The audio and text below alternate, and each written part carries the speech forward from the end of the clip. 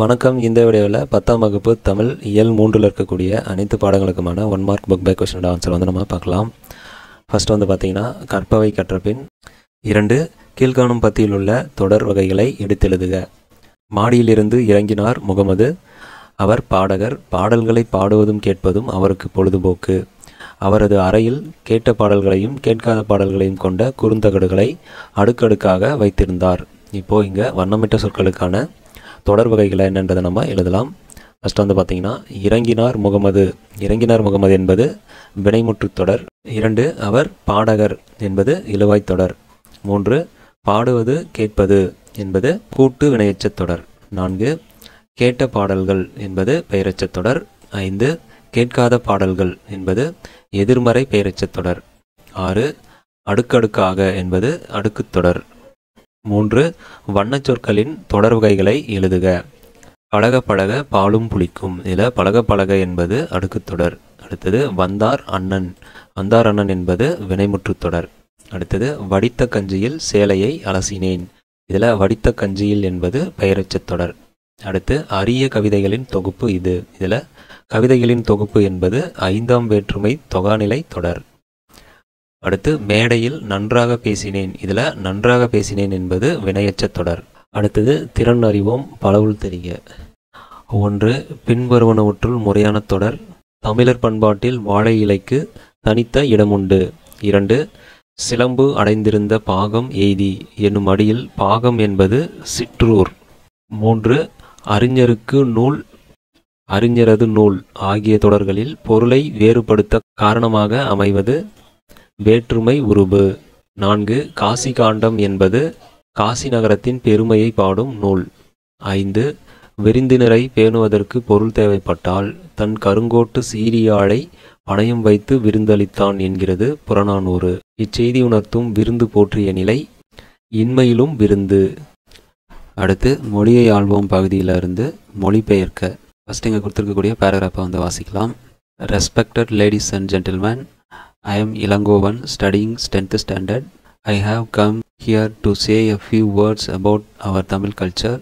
Sangam literature shows that Tamils were best in culture and civilization about 2000 years ago. Tamils who have defined grammar for language have also defined grammar for life.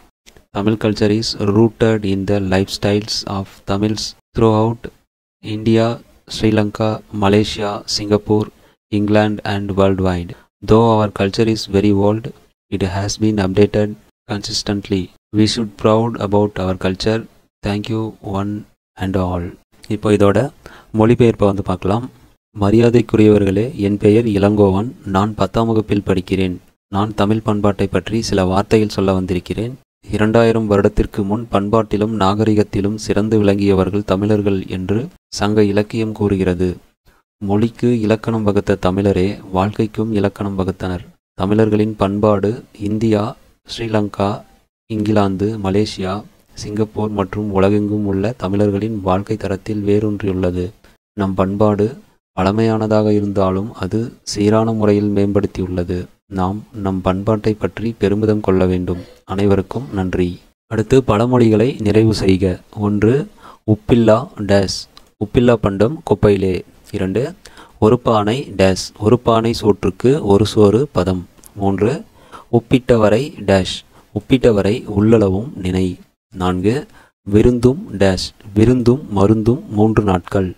ஐந்து அளவுக்கு அளவுக்கு மிஞ்சினால் அமுதமும் நஞ்சு. அடுத்து பத்தியை படித்து கருத்தை சுருக்கி எழுதுக. தலைப்பு பழைய சோறு. பச்சை நெல் வயலை கண்கள் முழுவதும் சுமர்ந்து இளநெல்லை நுகர்ந்து அதன் பாலை ருசித்து நீராவியில் அந்த நெல் அவையும் கதகதப்பான புழுங்கல் மனம் வரை சுவைத்தவள் நான். அவித்து காய்த்து குத்திய அந்த புழுங்கல் அரிசியை அதன் வளவளப்பை கடுப்பு மனத்தை சோறாகுமுன் கை நிறைய அள்ளி வாயில் போட்டு நெறித்து வென்றவள் சொல்கிறேன். பகலெல்லாம் உச்சி வெயிலுக்கு அது சுட சுட புழுங்கலரிசி சோறு. இரவு முழுவதும் அந்த சோறு நீரில் ஊறும். விடிந்த இந்த காலையில் அதன் பெயர் பழைய சோறு அல்லது பழையது. காத்திருந்து சின்ன வெங்காயம் பச்சை மிளகாய் கடித்து நீராகாரம் போல் குடிப்பது ஒரு வகை. வாழை இலையில் அந்த பழைய சோற்றை பிழிந்து போட்டால் வடுமாங்காய் அல்லது உப்பு நார்த்தங்காய் அதனுடன் சேர்த்து கொள்ள துடிப்பது இன்னொரு வகை. சுண்ட வைத்த முதல் நாள் குழம்பு இன்னும் உச்சம். நல்ல பழையது மாம்பழ வாசம் வீசுமாம். பழைய சோறு அது கிராமத்து உன்னதம். மைக்கடல் முத்துக்கு ஈடாய் மிக்க நெல்முத்து முக்கூடற் பல்லு. இப்போ இந்த பத்தியை சுருக்கி எழுதலாம். நெல்லை அவித்து காய வைத்து எடுக்கும் புழுங்கல் அரிசியை சோறாக்கி அதனை இரவெல்லாம் நீரல் அதனை இரவெல்லாம் நீரில் ஊற வைத்து கிடைக்கும் பழைய சோற்றுடன் சின்ன வெங்காயம் பச்சை மிளகாய் வடுமாங்காய் உப்பு நார்த்தங்காய் மற்றும் சுண்ட வைத்த குழம்பு இவற்றில் ஒன்றாக கூட்டாக வைத்து சாப்பிடுவது கிராமத்து உன்னதம். மொழியோடு விளையாடு. விடுபட்ட எழுத்துக்களை நிரப்பி அந்த எழுத்துக்களை மட்டும் இணைத்து ஒளிந்துள்ள ஒரு நூலின் பெயரை கண்டுபிடிக்க. ஒன்று பறவையிடம் இருப்பது. இறகு. இரண்டு சிவப்பு நிறத்தில் இருக்கும். குருதி. மூன்று மன்னரிடம் இருப்பது வாள். நான்கு தங்கைக்கு மூத்தவள் அக்கா. ஐந்து அறிவின் மறுபெயர் மதி. ஆறு நீரில் செல்வது படகு. அடுத்து இரு சொற்களையும் ஒரே தொடரில் அமைத்து எழுதுக. இங்கே சில சொற்கள் கொடுத்துருக்காங்க. அந்த இரண்டு சொற்களை வந்து நம்ம ஒரே தொடரில் அமைத்து எழுதணும். எடுத்துக்காட்டாக வந்து பார்த்தீங்கன்னா சிலை சீலை. சிலையை திரை சீரையால் மறைத்திருந்தார்கள். இதே போல் மற்ற சொற்களுக்கும் நம்ம தொடர்களை எழுதலாம். தொடு தோடு. காதை தொடும்போது தோடு அழகாக ஆடியது. இரண்டு மடு மாடு. மடுவில் அதாவது குடையில் மாடு நீர் குடித்தது. மூன்று மலை மாலை மலை மீது ஏறி மாலையில் விளையாடினேன். நான்கு வலி வாலி வலியும் காற்றும் வாலியும் அன்பும் இல்லாமல் வாழ முடியாது. ஐந்து விடு வீடு அகந்தையை விடு வீடு பேறு சொர்க்கம் கிடைக்கும். அடுத்து அகராதியில் கண்டு பொருள் எழுதுக. இங்கே சில சொற்கள் கொடுத்துருக்காங்க. அதற்கான பொருள் வந்து நம்ம அகராதியிலிருந்து எடுத்து எழுதலாம். ஃபஸ்ட்டு வந்து பார்த்தோம்னா ஊன் ஊன். மூணு சுழி இன் அப்புறம் ரெண்டு சுழி இன். இந்த வித்தியாசத்தில் கொடுத்துருக்காங்க. ஃபர்ஸ்ட் ஊன் பார்த்தோம்னா இறை உண்டி சோறு உணவு ஆன்மாவின் சுகதுக்க அனுபவம் இந்த பொருளில் வரும். அடுத்து ரெண்டு சுழி ஊன் பார்த்தீங்கன்னா உடல் தசை நினம் மாமிசம் சரீரம். இந்த பொருளை குறிக்கும். அடுத்தது திணை திணை. ரெண்டு சுழி வரக்கூடிய நெய் அப்புறம் மூணு சுழி வரக்கூடிய நெய் வந்து கொடுத்துருக்காங்க. அதுக்கான பொருள் பார்த்தீங்கன்னா திணை. மூன்று சுழி நெய் வர்றது. இடம் ஒழுக்கம் குடி குளம் பூமி பொருள் இந்த பொருளை வந்து குறிக்கும். அடுத்து ரெண்டு சுழி வர திணை ஒரு வகையான தானியம் ஒரு சாமை சிறுமை இந்த பொருளில் வரும். அடுத்தது அன்னம் அன்னம் மூன்று சுழியின் அடுத்து இரண்டு சுழியின் கொடுத்துருக்காங்க. மூன்று சுழியின் வரக்கூடிய அன்னம் பார்த்தீங்கன்னா மேல்வாய் மேல் நாக்கு. அடுத்து இரண்டு சுழி எழுத்து வரக்கூடிய அன்னம் கவரிமான் சோறு தானியம் பிரம்ம வாகனம் என்ற பொருளில் வரும். அடுத்தது வெள்ளம் வெள்ளம். முதல்ல வரக்கூடிய வெள்ளம் வந்து பார்த்திங்கன்னா கருப்பஞ்சாற்று கட்டி. அடுத்து இரண்டாவதாக இருக்கக்கூடிய வெள்ளம் பார்த்திங்கன்னா நீர்ப்பெருக்கு கடல் கடலை நீர் ஈரம் மிகுதி உண்மை இந்த பொருளில் குறிக்கும்.